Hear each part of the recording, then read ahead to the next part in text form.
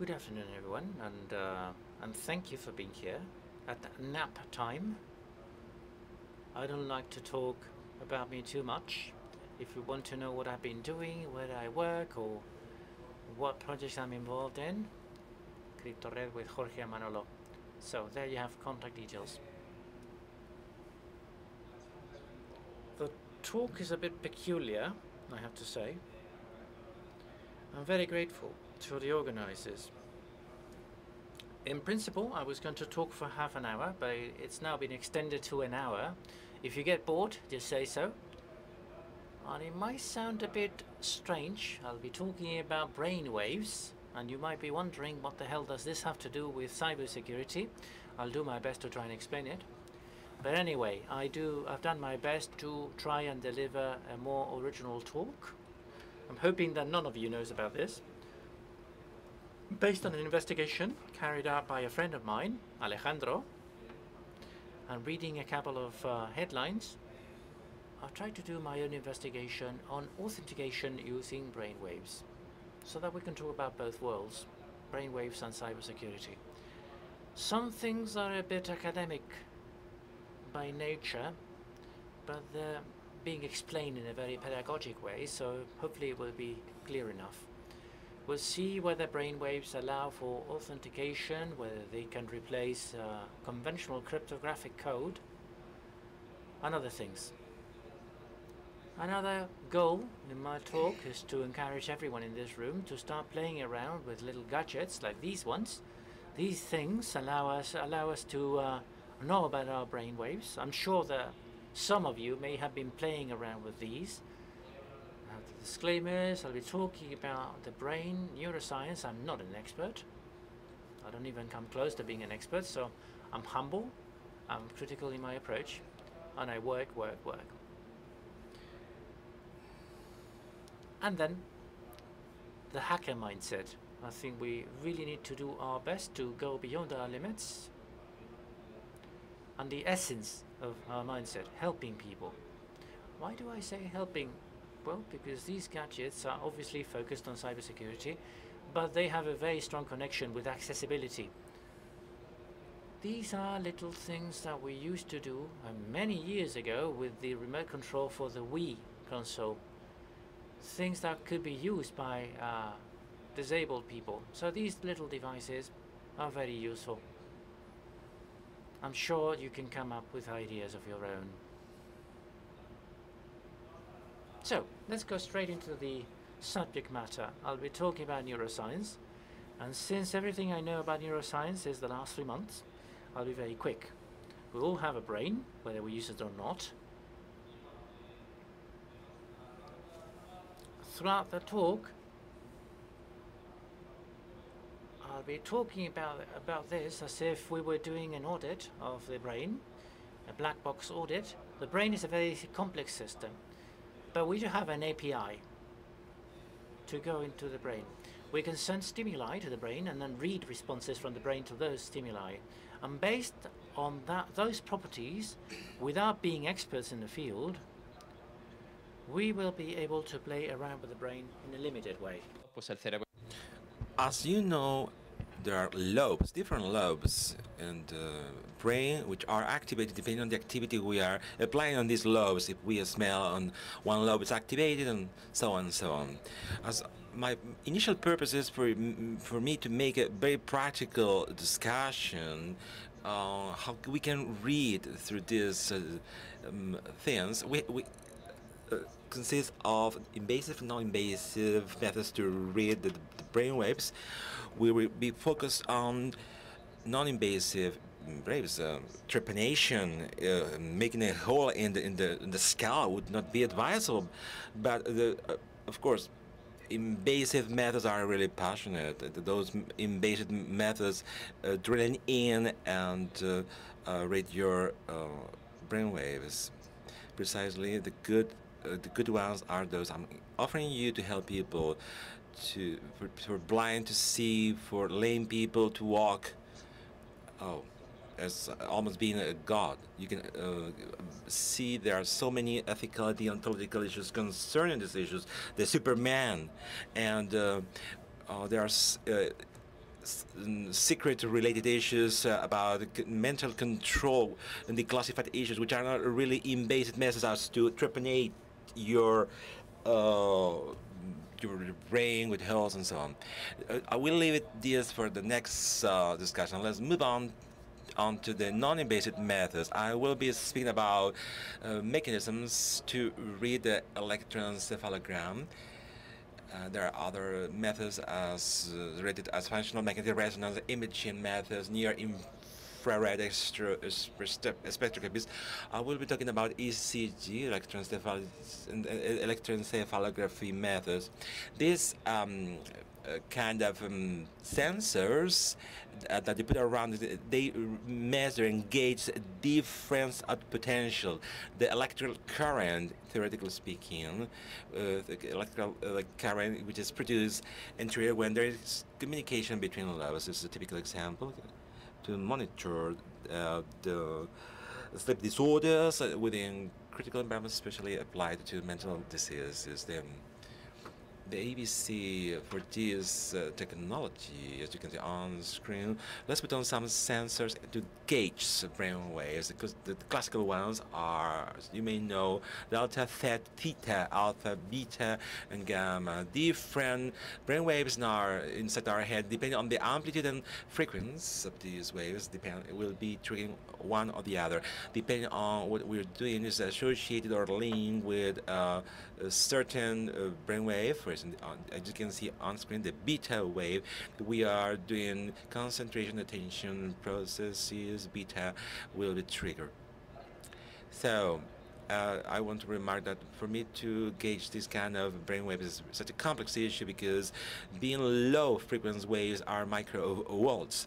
So I need very precise technology to filter out uh, the, the, signaling and the background noise as to it's difficult to, to it's like hearing a conversation in the middle of a, the, the, the soccer pitch. It's complicated but um, more and more low-cost uh, devices are created recently and is interested, interesting for, for us to see. Beside the brain waves, especially in the final stage, when we will uh, be coping with uh, mental surveillance, which is attacks on mind to strike and drill out uh, secrets from our mind. I, I, think it sounds like science fiction, but in the last final stage, I will talk about the ERP, event related potential, when your brain receives a stimulus, auditive or visual uh, stimuli, certain patterns are, are, reproduced during a certain period of time, and depending on analyzing these patterns, we can extract information. There are um, groups that can check out this. Uh, it's kind of a scary theme for us to, to see, but where we can put on these sensors. There are a, series of standards we follow that tells us that there's on certain areas uh, in, in our brain is it's reasonable for us to put this sensor. We can you can read a certain activity in a specific on a specific lobe in our in our brain. When I'm when I concentrate on a task, I may want to put it on this position because uh, the sensor will be reading this activated uh, part of our when we are doing a specific action. The letter you can see in front of every, uh, this number, uh, refers to the specific uh, uh frontal occipital lobe. Um, oh, I'm freaking out. Temporal lobe and, parietal lobe, and so on. So far, so good. Until three years ago, the, the most of these devices used, especially in clinical in, environments, it was hard, hardware very expensive hardware, over 1,000 euros and more. These devices could be used within uh, military environments uh, and especially mental surveillance. These um, uh, devices, as you can see on screen, are um, are very useful. Uh, low-cost devices are better for us uh, around ranging from you can see on the screen 100 to 400 euros depending on their position over the, the past three years the most famous one had been the NeuroSky the Wave from 79 euros and EPOC Emotiv from uh, um, near, NeuroSky near sky has one single sensor and reader depending on the and EPOC has around uh, 14 sensors. We can read uh, more uh, precisely uh, certain things depending on our expectations and other devices as well. Besides that, if you're I, if you're encouraged to do so, I'll leave you on screen some links uh, about the, the, libraries that are programming these devices. Uh, a lot of reverse engineering has been done for the protocols on Python. You can try it with uh, Arduino. You can even uh, design your own uh, de devices. Uh, especially applicable to mental surveillance, you can create a specific hardware to put it on these areas um, sticking in my head, and you can improve a lot. There's so much information available, and it's hackable information uh, that which not belong to laboratory environments anymore. We can see now on the screen an example. Then, then I will show you a demo. This is the NeuroSky MindWave device. I bought it myself. I paid for it, period.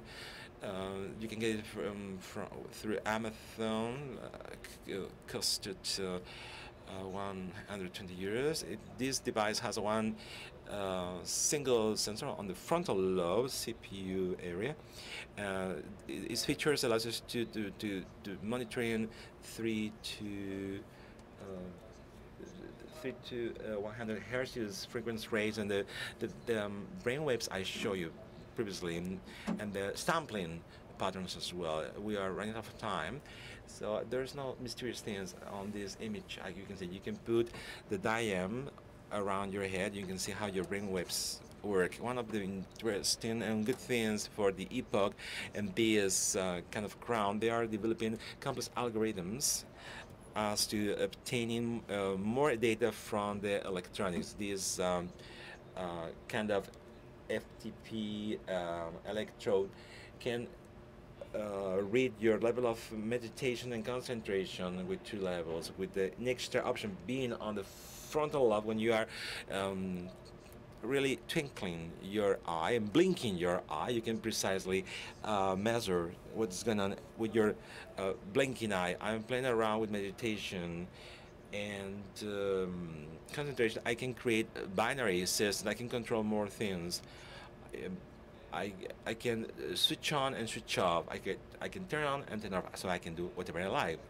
I'll show you an example on Java with different demos you can do on Python. Uh, I don't use any kind of uh, library because if you download the uh, information, you do some reverse, you, know, you can get uh, how you can use it. this is a skeleton of the Java program when you can uh, read information when you are blinking your eye, the level of meditation, the attention level, different brain waves. With, can, this can be implemented, you can play around with it, whatever you like it. Uh, for you to understand the impact of this kind of technology, uh, we'll do something like which is um, playing a game in front of 1,000 people. So this is my demo for you, my friends. Me pongo la diadema. ¿Veis? No tiene mis... I, I get this uh, electrode is a dry electrode. You don't need to, um, you don't need any kind of gel or lubricant. Period. This is a simple electrode. Se. No duplicado. I didn't duplicate it. I didn't. Am I correct? No.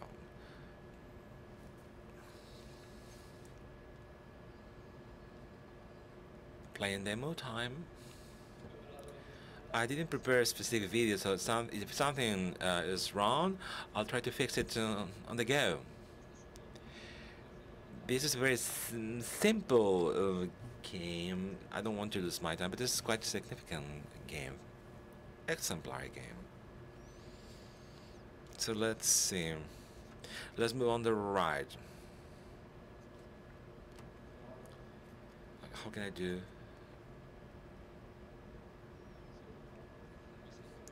You can see a bar which reads concentration. Concentrate. One of the labs, it, it, it, gauges your level of concentration.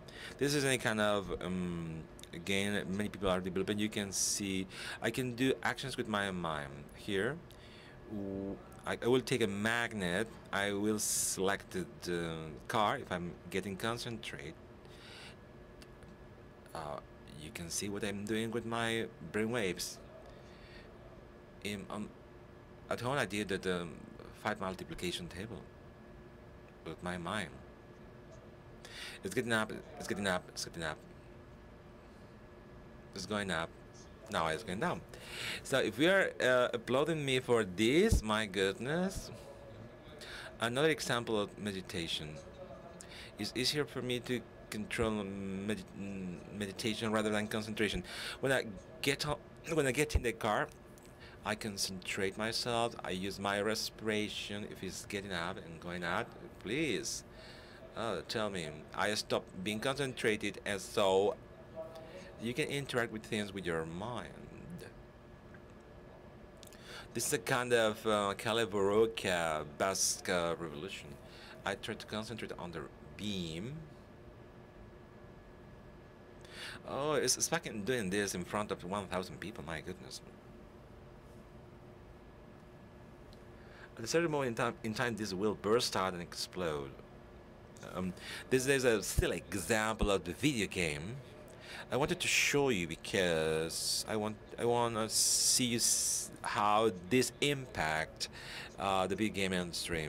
This will make just the bias be in our everyday lives with security implications that we'll see in the very end of my presentation.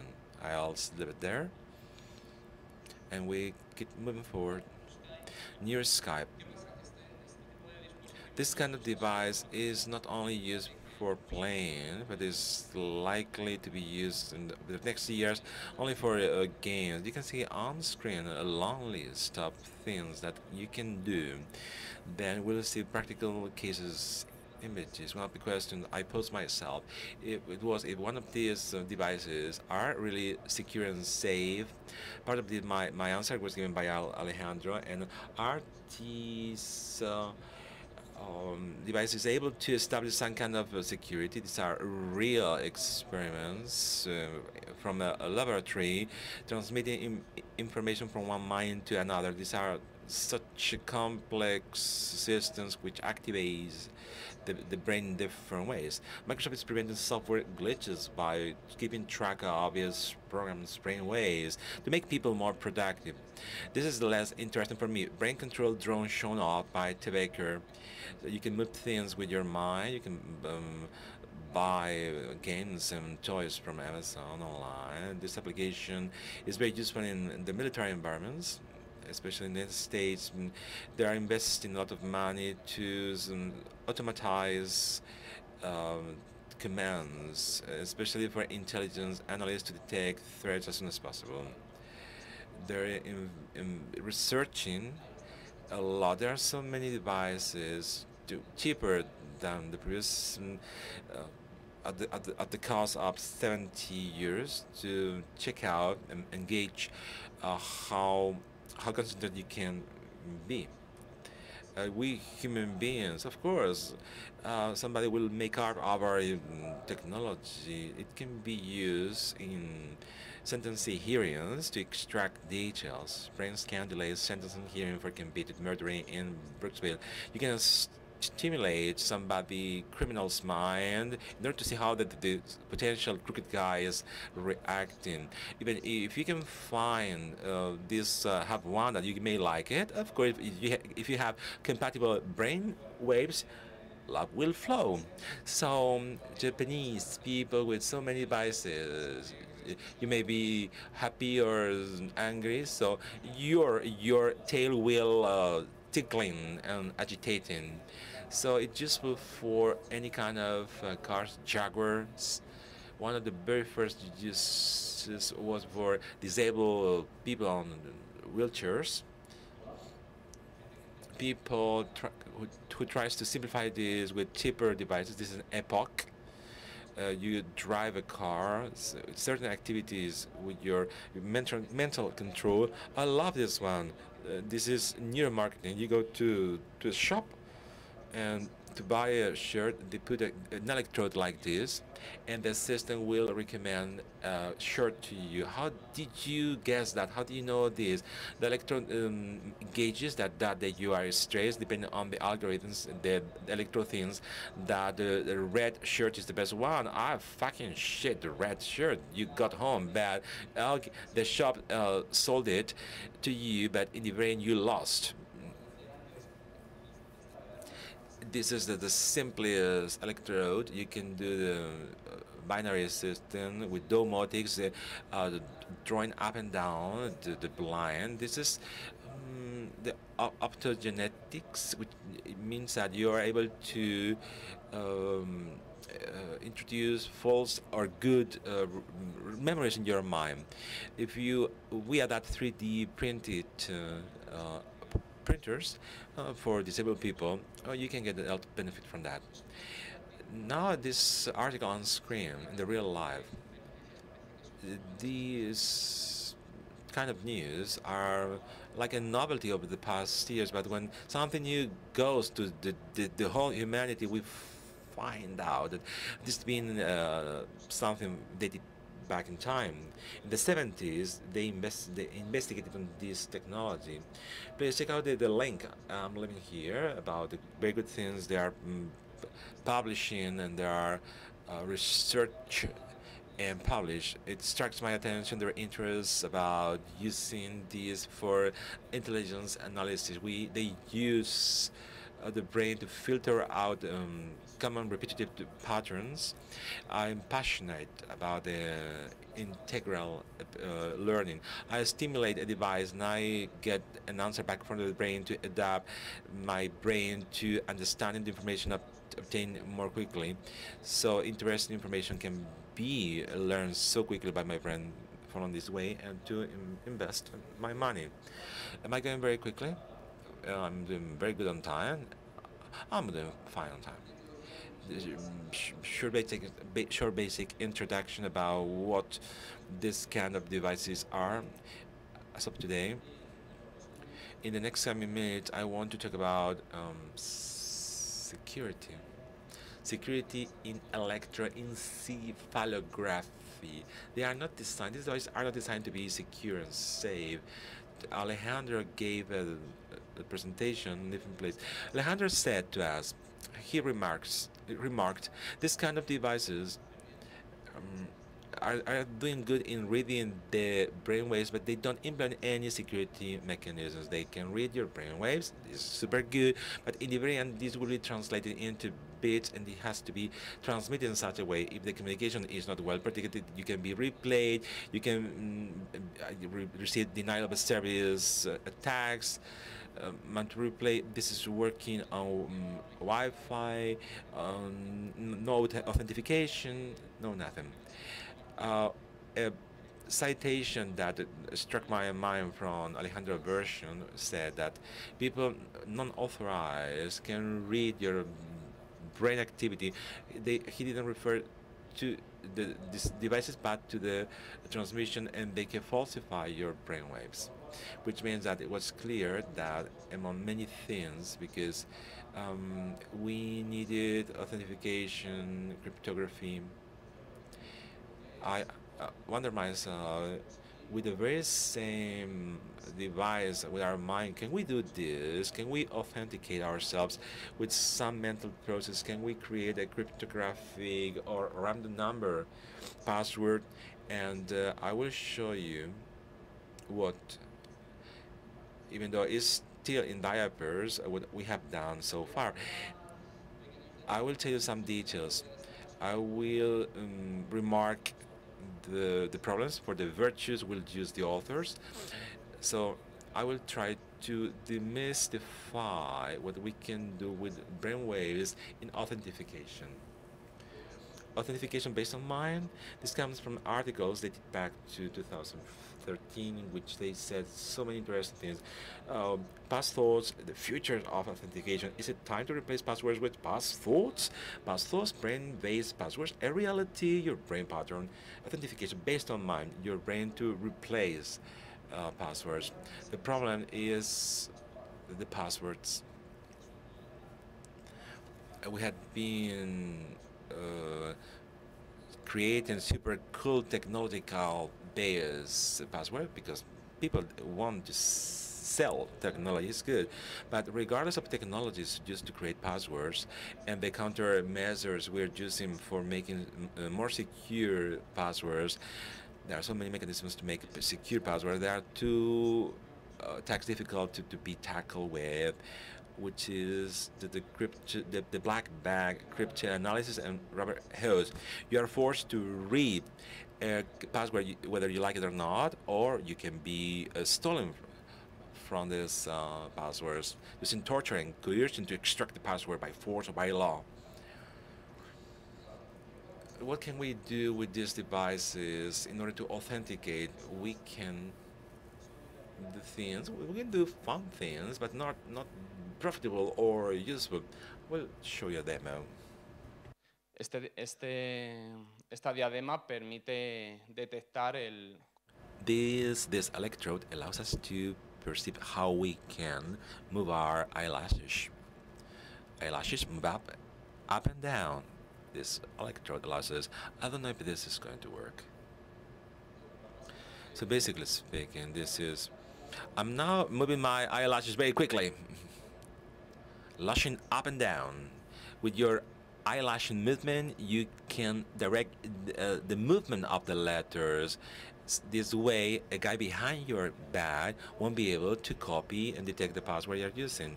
I consider this, there is limited uh, practical usage for that. But there's people in this life with so much uh, free time that they, they, can devote their free time to this to do this in fact, in, in, accordance with these authors, this investigation, this research is done with this electrode and reach a ratio of 99%. It's tricky. Uh, but they did it with 10 family members, so there's the tricky thing. So the, their validity is quite relative. You can see the date it dates back to 2015. Uh, the, the fact of moving up and down your eyelashes done a long time ago with sophisticated sophisticated techniques. Only with um, 100 devices you can measure uh, the eyelash movements. Now regarding the separation of time. Uh, in, during the, the mental process used in authentication, time is a factor, relevant factor. Theoretically speaking, what would the mind be good regarding establishing an authentication method?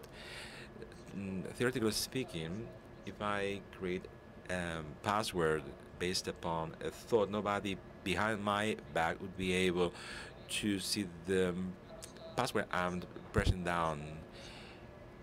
A password based upon thoughts has not necessarily to be secret. I can base my password in reciting in my mind a certain type of uh, song no nobody will know about because my opponent my attacker should be reciting their own mind the, the very same scene, but he doesn't know that I'm reciting a song. I leave it over there because uh, these these uh, the topics are still uh, immature. I said that we cannot copy and replicate mental process, but if you are copy, you can resort to another biometric mechanism. If your uh, 10 uh, fingers have been capped off, you should have chosen another mechanism. You can, we can also do continuous authentication, especially when it comes to continuous testing. It would be a good idea for you to have something that can authenticate you.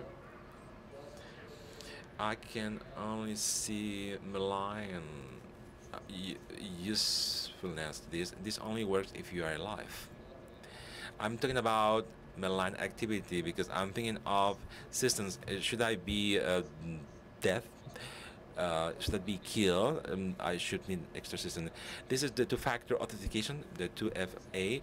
Uh, an inheritance factor, brain, and a knowledge factor, a chosen password.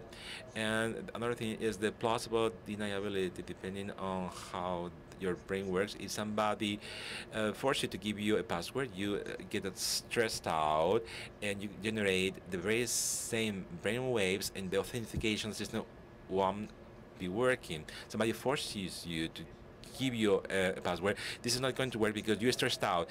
Uh, if, if the self capacity of stressing out um, doesn't work, you can resort to plausible deniability. It does not work because it's like this, but you are provoking the situation with your brain.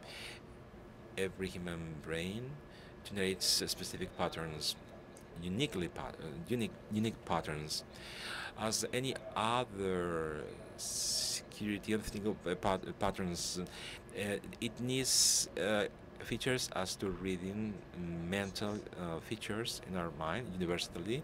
So there are so many things I put into doubt. This authentication process should be continuous in time, should be um, secure, not non-attackable, and people should be using this di distinctive, collectible, and unique process. I will sum up in just uh, one or two slides, 60 articles I read about authentication with your mind. This is not a mystery at all. The scheme on screen, the outline is applies to how an authentication system uh, in the mind works. We have um, a device which captures mm, brain waves through different mathematical procedures. These characteristics in the brain, you th think about a mental task this device analyzes the brainwaves and extracts mm, from that certain characteristics as our brain does not react in the very same way re regarding uh, stimuli. These characteristics will change so I will need a classification algorithm as to creating groups. Once I get the classification I extract uh, small information and that's the way I can authenticate some person uh, there is a training phase. I generate some values. When I move to authenticate, I repeat it and I compare it with previous sampling. You can have uh, different machine learning uh, algorithms and mathematical techniques. The base of all of that is for us to conduct mental tasks in our brains, in our. What would uh, a mental task be? Shut down shut down the eyes would generate mental activity uh, to receive um, visual audio stimuli uh, concentrate your mind by moving one finger text through the objects visual evoke potential beep uh, p300 event related potential. Uh, my key phrase is elephant. I think of an elephant based upon a thought. So I will uh, mm, conduct this kind of mental uh, actions and the authentication system will be working. So let's move on to problems. What are the articles published around this? Because they, it has characteristics that would make it uh, interesting for all of us. Uh, almost all the articles I saw, and I say um, articles because I don't know any commercial system doing this. If you know of any of these commercial systems, please let me know the very truth is that mm, part of the uh, devices had been placed had been done with multi-sensor devices, with the expensive multi-sensor devices over uh, 1,000 uh, euros, which this implies and triggers cost-related and stability issues and this won't be used on the authentication process. You have so many articles on screen. I don't want you to get your slip um, so many articles. So the good thing about the, the, latest discoveries and findings of the past years had been replicated with the Emotiv, with this, the, with the cheapest one, um, cost uh, 400 euros. I will show you now uh, with uh, devices valued and worth of 400 uh, euros. Uh, this example is kind of uh, questionable because it has less precision. You, you can get bored about so many articles on screen. Uh, what are this system of, authentication based on.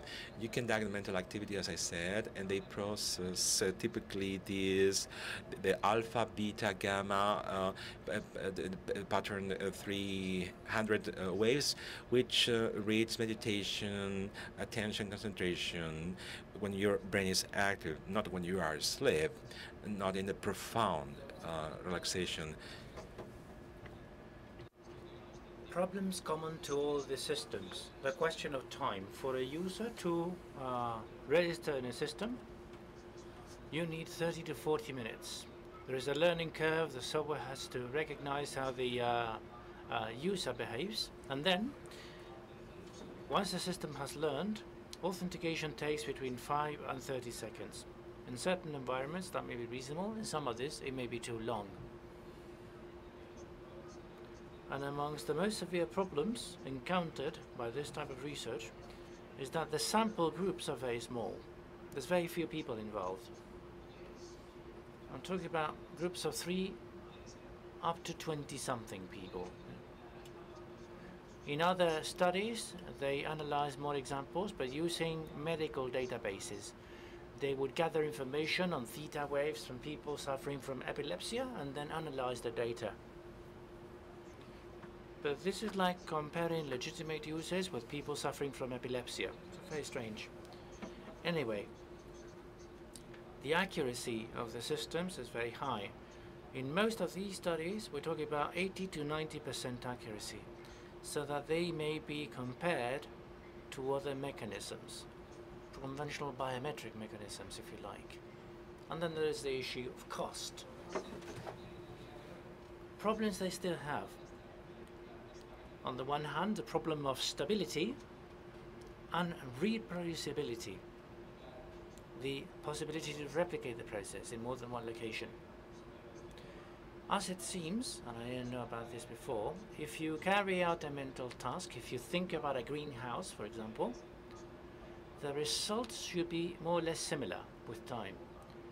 But as it happens, things are not that stable it seems that aging or time itself has an impact on your mental processes. There's a number of articles out there, I haven't found too many, which say that in the best possible situation, one specific mental task could be uh, perceived in the same way for up to six months maximum. After that, you would need to authenticate yourself against the system again it may not sound as a very uh, important concern because at the end of the day with conventional systems you change your passwords every six to nine months. But with these systems it shouldn't be necessary to do such thing okay? Another important problem is that our brain is affected by emotions by stress by happiness, by joy, by fear, that you could find yourself in a situation as funny as this one. You go to work from home, you've had a, an argument with your girlfriend, and you're stressed, so you cannot authenticate against the system, you cannot log on. So, some things remain unclear. It may be very accurate, but other things are still unclear.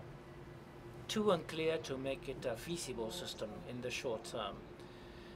This is a more uh, detailed slide on uh, a study that was used, uh, that was conducted using this device. This is from 2003. Most of the articles that you can read in the press on authentication are based on this study. How does it work? But these are the details.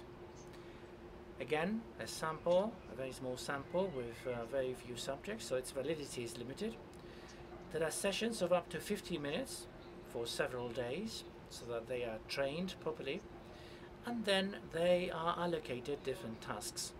For example, the breathing task, the simulated finger movement, the sports task and so on and so forth. After completion of those tasks, you measure alpha and beta waves with this device. For each frequency, you get to add an average value. And with those average values, you establish a comparison with previous readings. As simple as that, there's nothing else to it really. What are the results of this study? As you can see here, if you can read through this, if we were use, if we were focusing on a task, focusing on, on thought, thought processes, 0% of non-legitimate users would get into the system, whereas 12% of legitimate users will be reject would be rejected by the system. There are values that move up and down depending on what we establish as a comparison, and some might be reasonable. I'm mentioning the one focusing on thought processes because this is the one that, that hit the headlines. The cool thing about this is that this is heavily focused on the usability and the security of this study. Almost none of the studies I've, seen before focused on usability. This could be one of the safest, and yet it is one of the uh, most uncommon. So people are using, authors are using uh, less safe procedures more often. Again, remember that in this study there is no analysis of the length of time that is needed to make all tasks uh, useful. This is about basic authentication when the user is an active part of the system. There are other uh, research projects focused on implicit learning. I've only found this one, but it's really cool. This is one user. You ask the user to perform a certain process. They don't need to know what this is for. In this case, this is a game. And implicitly, the uh, user learns a key, learns a password. They're not aware of that, but their brain is. With that information stored in the brain, they then log into the system.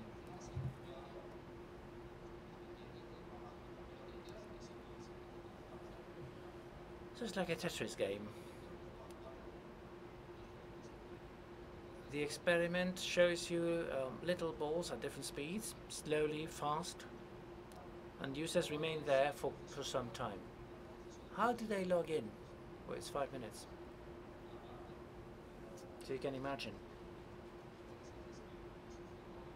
The interesting thing is that during those five minutes, there is a, a, reduced version of the game with a number of patterns that ha have been carefully studied beforehand, and at the end of that five minute period, the system knows that they have a legitimate user trying to log in.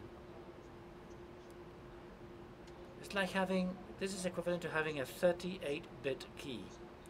If you push the user into uh, making them tell you what the keyword is, they will not be able to do that because it's unconscious. Quite interesting. It leads to other things like science fiction uh, experiments that have to do with establishing the brain as a gateway to other things, and we will not go into that. Not enough time. So far, so good, so good about authentication. Let me tell you about generating keys with the mind and random numbers. Am I doing well with time? Okay.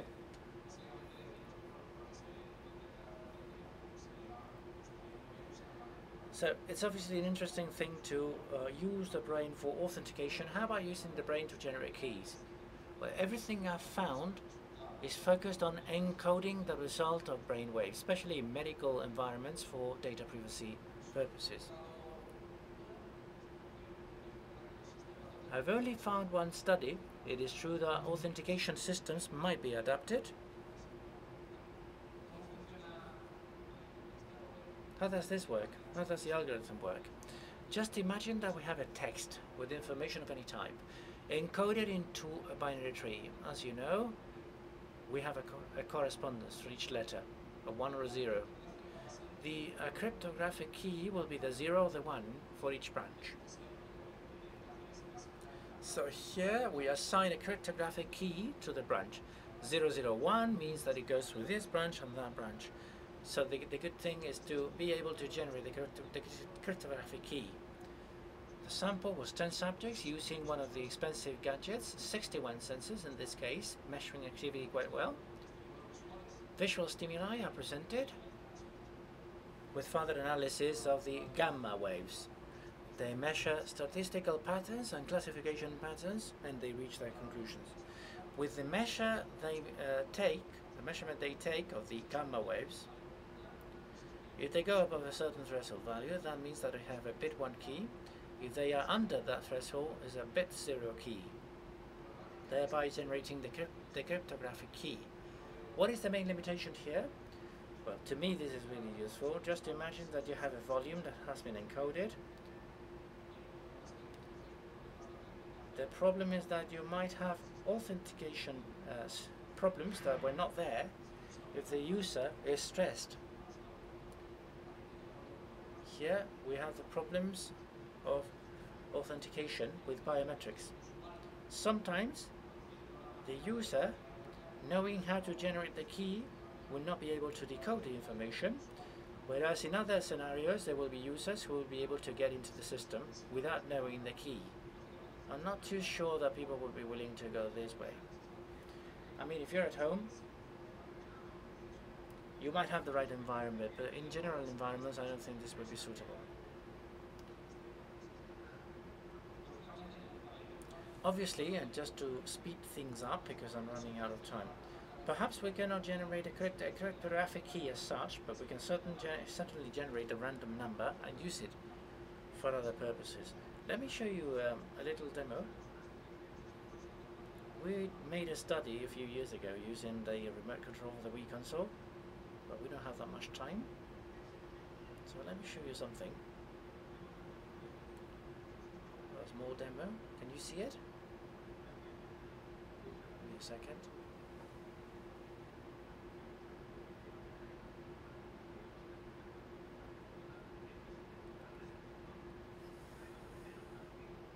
Right, there it goes.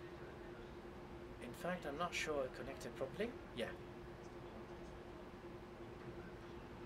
this is just a small example, a small silly example. What I'm doing now is reading my brainwaves. I'm reading my level of attention and what happens when I blink my eye, what happens if I focus on something. So I'm monitoring my brain activity and that generates information. How about using this as a, a generator of random numbers for simple or complex things? It could be a good idea. Perhaps it's only that, a good idea. Because if then you apply a, basic statistical analysis to see whether these ideas could be useful for cryptography, results are not that promising. Well, let me speed up. These are uh, dots, a dot chart of my mental processes over 10 hours in the, in the uh, last three months, watching videos and reading books and things. And since this was um, random figures, I applied filters to show it graphically. We can see the raw material. But since it was a nuisance having the device on my uh, skull all the time, I decided to use it without my head. So it seems that brainwave samples can be obtained without the brain. If you look at the raw data, it seems that it might make sense. But then if you take it seriously, as you can imagine, if you perform statistical attacks, this has to be rejected. This is useless for everything, not even for random numbers. But obviously you can use the brain as an entropy source. In Linux we may use these, uh, the uh, mouse or the keyboard for small uh, amounts of information. It may sound strange, but the brain could be used. There's very little uh, research in uh, random numbers generated by the brain. This is quite striking. This is a guy that says that brain waves generate uh, random numbers. But again, this only happens with uh, epileptic patients. This has been conducted with medical data, so I think it's very strange. Using epileptic patients to protect systems doesn't make sense in my mind. And another one, which is similar to what I did myself, using EPOC, the conclusion was similar. If you take the information straight from the device, the numbers coming from the device are not random, but if you apply a little mathematical wizardry, you could use them. You could use them. And since I didn't want to uh, stop there on authentication and encoding, let me finish off by telling you about a number of attacks that can be uh, performed on the human brain. Why this type of attacks in the first place? Well, I'm thinking about using this for critical uh, elements, but perhaps there are attacks out there that could, could extract information from my mental processes. So I browsed the web to see what I could find. There's uh, journalists and researchers that say that this will become a reality by the year 2030, but since I don't like being dominated by robots, I wanted to find out by myself. As you know, most of us use gadgets. If those gadgets could be hacked, that would that could lead to major problems. You know, the Samsung watch that could be hacked to obtain information about what the fingers are doing, what keys they're pressing. Let us talk about privacy, thought privacy. There's a part of forensics, an area of forensics which, which is called brain fingerprinting. There's different ways to use it, but one of the basic ones uses pattern P300. This is a wave produced by the brain when a person gets a certain stimulus, a visual stimulus, for example. Uh, around 300 milliseconds down the, down the road, a certain wave is produced with a certain peak value. By analyzing the peak value, you may determine whether the user knows about the information. This has been used in identification rounds. For example, the uh, suspect is taken to the uh, police station and this technique is there. Obviously additional applications could uh, be found. Some companies say that this might be the solution to many things. When people claim that is usually a lie. Anyway, I mean, and I've been reading through headlines. Is it feasible? Well, relatively. If we get into military documents, you can imagine, this is from 2001. They've been talking about this for years on end. These are letters exchanged between the FBI and certain institutions in the US. But it is true that there are some people out there using EPOC to try and capture that time of brain waves, P300, to obtain information from the brain. Is this real? Well, it is. In fact, let me show you two attacks. With that, I will be done. Obviously, they have their own limitations, but uh, let me show you. The two uh, studies were conducted by the same authors from very well-known universities like Oxford and Berkeley. What they wanted to prove was the fact that this type of devices, especially in gaming environments, are dangerous for privacy. What proof of concept did they have? Well, they used EPOC Emotiv. You may download applications for Android that can allow you to interact with your brainwaves. In, in, there, in these studies, they had different scenarios with different stimuli where they measured the P300 pattern. With that information, they may determine the area where you live. They may know things about your credit card. They may know things like your age.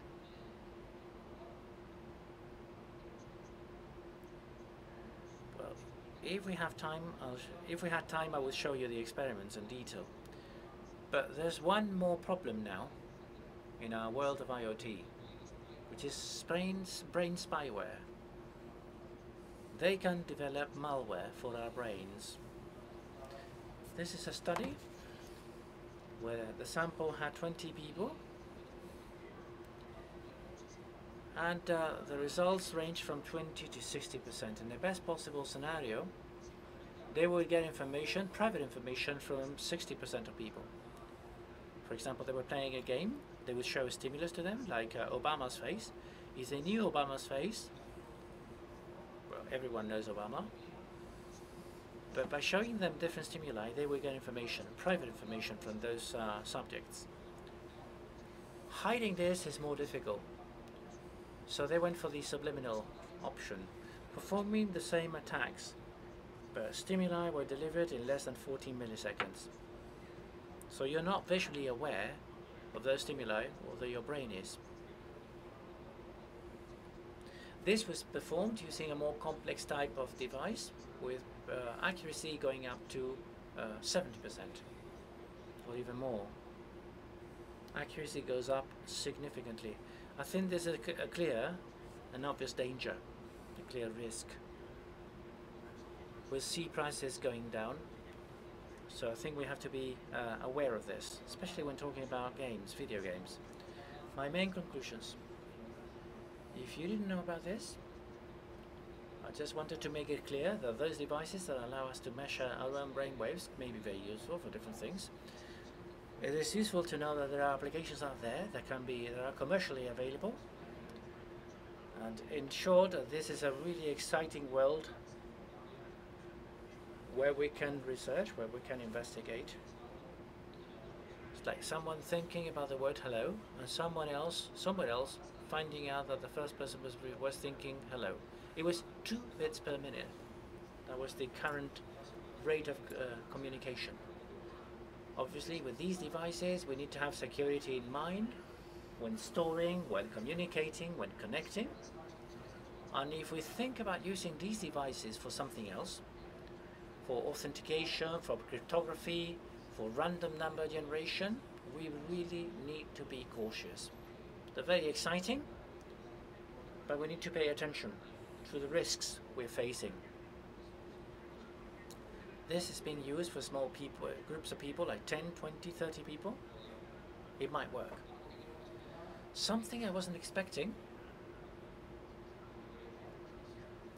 is that there is a real problem with privacy with these devices. This thing that I have at home can be hacked by someone. Someone can develop an application in Android, send stimuli to my brain, and then retrieve information from my brain, private information. It might work. It might sound like science fiction, but really, we need to pay attention to this. Think about firewall technology for the brain. IDS firewall techniques. As they say at the NSA, attacks always get better, they never get worse. Little else for me.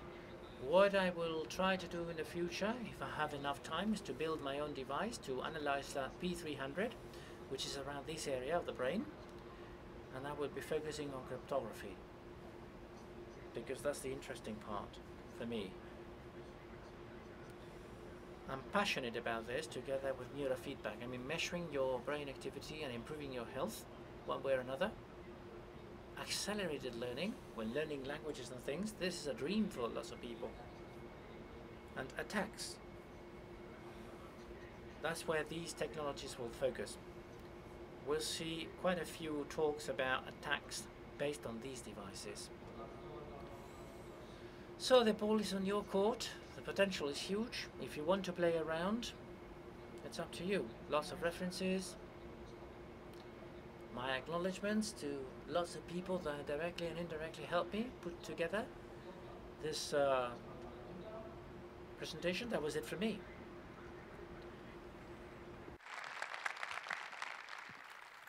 Una pregunta. One question. Let me show you something whilst you think about it. Perhaps I know, I don't know the answer. Hello and congratulations for your talk. It was very interesting. You said that authentication with these devices is equivalent to a, a password with 38 characters. Am I right? 38 bit. But that is the mechanism, the, the implicit mechanism. The explicit one, it doesn't make any difference. To what extent do you have to be in a certain very special environment, in a very special state, so that the signal you send allows you to authenticate yourself? Or do you have a margin of variation, if you like? What I was trying to explain during that on that slide is that authentication systems are trained when the users are very calm. If you're stressed, it is very likely that you will not be able to log in.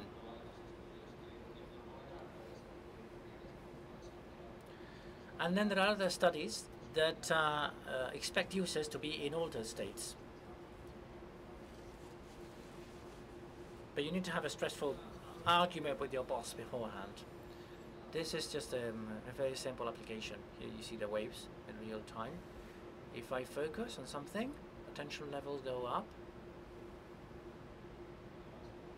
Yeah, I went up in meditation. My mind doesn't give anything else. Thank you.